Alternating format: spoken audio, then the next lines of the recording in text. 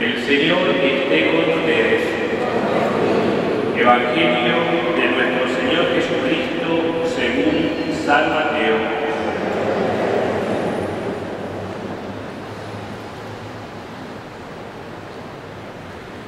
En aquel tiempo dijo Jesús a sus discípulos, les aseguro que si la justicia de ustedes no es superior a la de los escribas y fariseos, no entrarán en el reino de los cielos. No piensen que vine para abolir la ley con los profetas. Yo no he venido a abolir, sino a dar cumplimiento.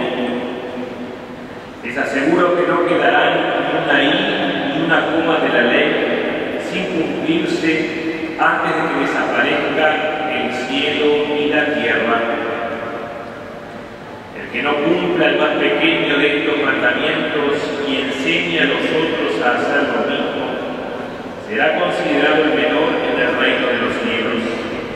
En cambio, el que los cumpla y enseñe será considerado grande en el reino de los cielos. Ustedes han oído que se dijo a los antepasados, no matarás, y el que mata debe ser llevado ante el tribunal.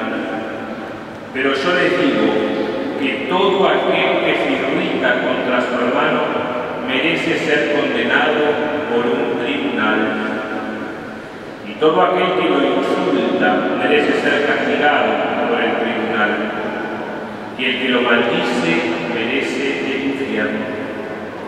Por lo tanto, si al presentar tu ofrenda en el altar te acuerdas de que tu hermano tiene alguna queja contra ti, deja tu ofrenda ante el altar, ve a reconciliarte con tu hermano y solo entonces vuelve a presentar tu ofrenda. Trata de llegar enseguida a un acuerdo con tu adversario mientras vas caminando con él. No sea que el adversario te entregue al juez y el juez al guardia y te pongan preso. Te aseguro que no saldrás de allí hasta que hayas pagado el último centavo. Ustedes han oído que se dijo, no cometerás adulterio, pero yo les digo, el que mira a una mujer deseándola, ya cometió adulterio con ella en su corazón.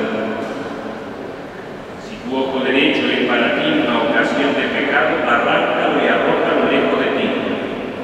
Es preferible que se pierda uno solo de tus miembros y no que todo tu cuerpo sea arrojado al infierno.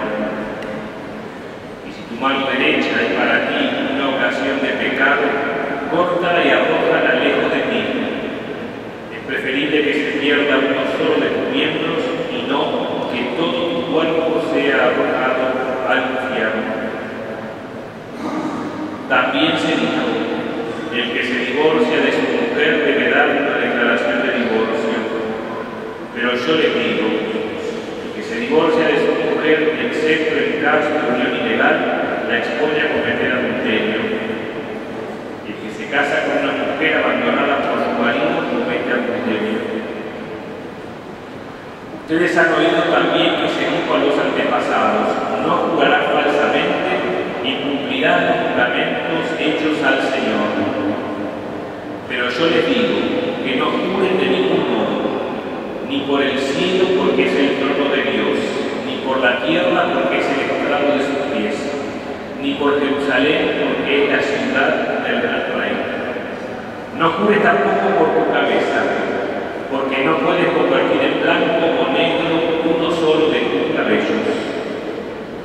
Cuando ustedes digan sí, que sea sí. Y cuando digan no, que sea no. Todo lo que se dice de más viene del maligno.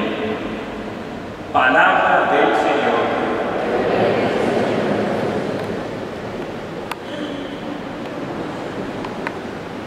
Grande es la sabiduría del Señor, Él es fuerte y poderoso y ve todas las cosas. Él conoce todas las obras del hombre. Tú, si quieres, puedes observar los mandamientos y cumplir fielmente lo que le agrada al Señor. Él puso ante ti el fuego y el agua. Hacia lo que quieras, tú extenderás la mano. Ante los hombres la vida y la muerte. A cada uno se le dará lo que elija. Estas palabras están tomadas de la primera lectura del libro de la sabiduría y nos dan una gran lección, nos introducen en un tema que se encuentra presente en toda la Sagrada Escritura. El bien y el mal brotan del corazón humano y depende pura y exclusivamente de cada uno con su propia libertad seguir el camino de Dios o apartarnos de Él por propia iniciativa cuando hacemos nuestras elecciones, cuando elegimos, cuando optamos qué camino queremos seguir. Y son también estas palabras libro de la sabiduría y la claridad y la sinceridad de las mismas las que nos hacen de preámbulo a estos 20 versículos del Sermón de la Montaña que San Mateo nos presenta en el capítulo quinto del Evangelio que acabamos de proclamar y de escuchar. Una parte, un pasaje del tan célebre y conocido Sermón de la Montaña, abarca en su totalidad los capítulos quinto, sexto y séptimo, completos del Evangelio de San Mateo.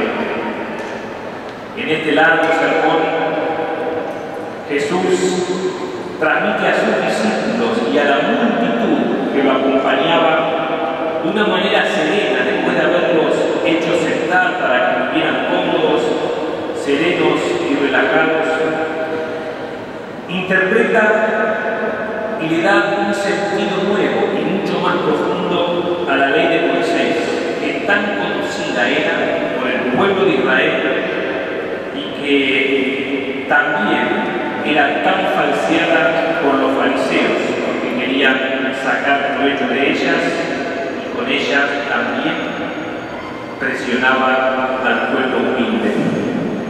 Jesús busca con su interpretación darle el verdadero sentido a los mandamientos y a los preceptos que Moisés, de parte de Dios, le había dado al pueblo en el libro del Deuteronomio pero que con el tiempo el pueblo, los principales del pueblo, los dirigentes del pueblo, se habían ocupado de tergiversar ese sentido.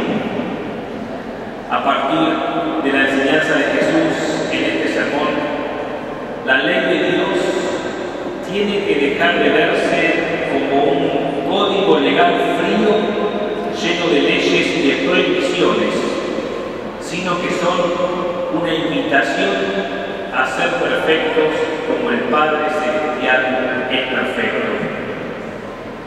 Este sermón de la montaña, que vuelvo a decir, ocupa los capítulos quinto, sexto y séptimo del Evangelio San Mateo y que los invito eh, como ejercicio espiritual a releerlo completo los próximos días, quizá tomando algún pasaje o algunos versículos otros versículos otro día, pero los invito a rezar con este texto y los invito a profundizarlo y a hacer un examen de cómo está siendo nuestra vida católica, nuestra vida cristiana, nuestra vida de discípulos, de acuerdo al mensaje de Jesús en el Evangelio y en el Sermón de la Montaña. Este Sermón de la Montaña podríamos decir que es como la carta fundamental del reino de los cielos resume toda la moral cristiana y es expuesta nada menos que por el mismo Jesús. Podríamos decir que es un nuevo programa de vida que viene a presentar el Señor. Un programa que ciertamente es exigente, pero que a la vez llena de felicidad el alma del discípulo. Por eso se dice que es tan exigente como vosotros. Y este nuevo estilo de vida pretende dar pautas de conducta, pero pautas bien precisas para nuestra relación con Dios y para nuestra relación con nuestros hermanos, porque enseñan una verdadera fraternidad y se funda en el amor verdadero llevado hasta las últimas consecuencias.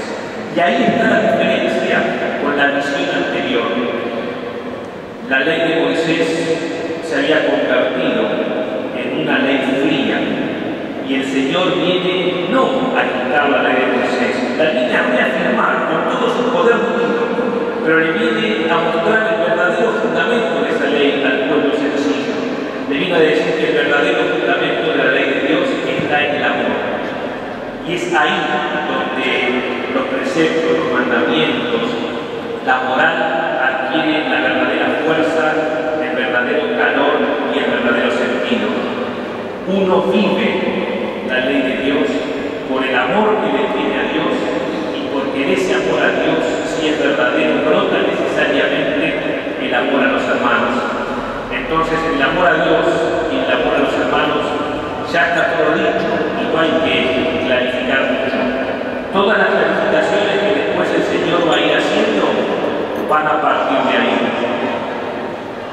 Vuelvo a decir, el sermón de la montaña, teniendo esto ¿eh? como marco, como trasfondo, es una invitación de Jesús que nos hace al corazón de nosotros a vivir con el verdadero sentido el camino del Evangelio. Y si el discípulo vive este estilo de vida, como decíamos, escuchábamos en el Evangelio del domingo pasado, va a ser la manera en que el discípulo se convierte en luz del mundo y sal de la tierra para los demás. En el sermón de la montaña y en los versículos que acabamos de proclamar, se nos da en definitiva la verdadera identidad de la vida cristiana, el ADN de la vida cristiana. Corresponde, como nos dice Jesús, a la ley de Dios, pero no se la cumple por una obligación o por miedo, sino que pura y exclusivamente se la debe cumplir con las exigencias que brotan del amor verdadero. Por eso hoy, siendo más allá de aquella ley, Jesús va a ir mucho más profundo. Y repito, solo lo vamos a entender teniendo como fundamento el amor a Dios y el amor al prójimo. Desde ahí se entiende el asesinato, Jesús habla del homicidio en los versículos que acabamos de escuchar, pero va mucho más allá, dice, incluye cualquier ofensa al hermano. Si insultas a tu hermano, mereces, dice, ir al mismo tribunal. Si ofendes a tu hermano, mereces ir al mismo tribunal que si has cometido un asesinato contra tu hermano. ¿Cómo se puede entender? Desde la ley del amor. Es decir, cuando uno falta al amor, está la verdadera falta. Y al amor se falta incluso con un simple sentimiento feo, dejándolo brotar desde uno. No hace falta ir hasta los extremos para faltar al fundamento de la ley que es el amor. Después habla del adulterio y empieza, con un deseo desordenado de otra persona. Entonces va más allá de que simplemente si te divorciaste, si te divorciaste, cómo manejas el afecto y los sentimientos del corazón para con las otras personas.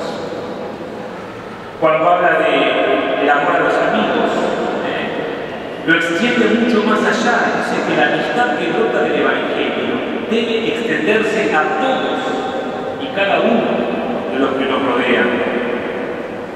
La palabra, el valor de la palabra, lo dice clarísimo. Si dijiste sí, que sea sí. Si dijiste no, que sea no. Todo lo que pase de eso viene del demonio, dice. Y acá hay una doble interpretación de que si decís sí, que sea sí, y si decís no, que sea no. Una hacia atrás. La verdad, tenés que decir que fue sí. Si fue no, tenés que decir que fue no la verdad y también el compromiso hacia adelante. Si te comprometiste con un sí, lo tenés que llevar adelante. Si te comprometiste con uno, lo tenés que llevar adelante. Entonces, el camino de la verdad, de la sinceridad, de la transparencia, de la honestidad, cada una de las frases de Jesús abre el mundo. Y Jesús va a ir tocando todos los temas en los tres capítulos completos. Por eso es tan importante. Es la carta de vida del cristiano. Tiene una fuerza, tiene intensidad y tiene una luz tan divina, tan fuerte, tan clara, que si uno llega a entrar en el misterio de Dios, que en su Hijo Jesucristo nos está marcando el camino, el fundamento es el amor. Desde ahí entendemos cada uno de los renglones de los largos capítulos que dura el Sermón de la Montaña del Evangelio de San Mateo. Y fíjense, voy a terminar como termina el Evangelio del Sermón de la Montaña. Es como si se hiciera un gran silencio en aquella multitud. Y el evangelista agrega un último versículo. Cuando Jesús terminó de hablar a la ella, la multitud, quedó admirada de su enseñanza. Ojalá nosotros captemos el verdadero sentido, el profundo sentido de que es el amor lo que conduce la vida, las acciones, las obras del cristiano, del discípulo de Jesús. Al salir de esta iglesia iluminado por esta palabra tan clarificadora de Jesús, lo podamos llevar a la práctica, a la práctica en cada uno